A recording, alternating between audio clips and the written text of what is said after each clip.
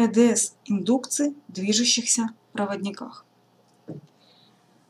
Если проводник движется в постоянном во времени магнитном поле, то ЭДС индукции в проводнике обусловлено не вихревым электрическим полем, которое в этом случае не может возникнуть, а другой причиной. При движении проводника его свободные заряды движутся вместе с ним.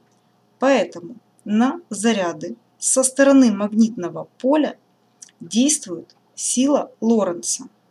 Она вызывает перемещение зарядов внутри проводника.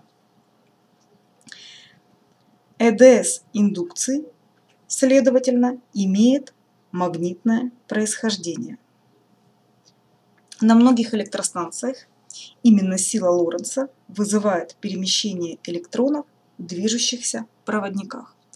Вы видите, на слайде представлена формула,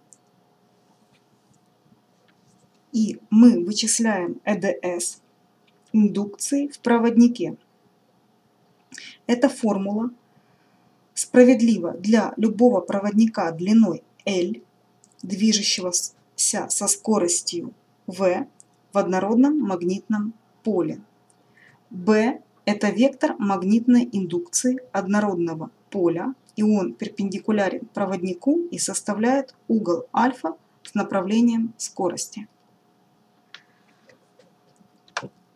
Запомните, что ЭДС индукции в проводниках, движущихся в постоянном магнитном поле, возникает за счет действия на свободные заряды проводника именно силы Лоренца. Если это видео было вам полезным, пожалуйста, ставьте лайк, подписывайтесь на канал.